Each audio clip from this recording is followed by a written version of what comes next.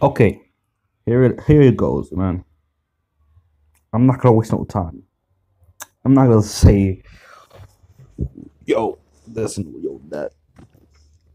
All I'm gonna say is the chapter for all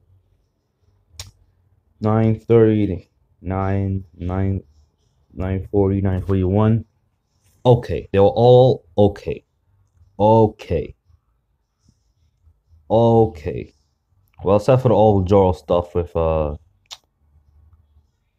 some Kolo Murasaki and um Toko and all of them and uh Yasu the dude yeah Yasu's a dude no doubt and uh yeah uh too bad you'll get killed.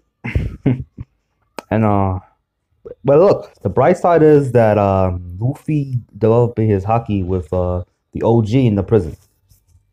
Give him respect for that. And they're playing the prison breakout soon. So yeah, that's it.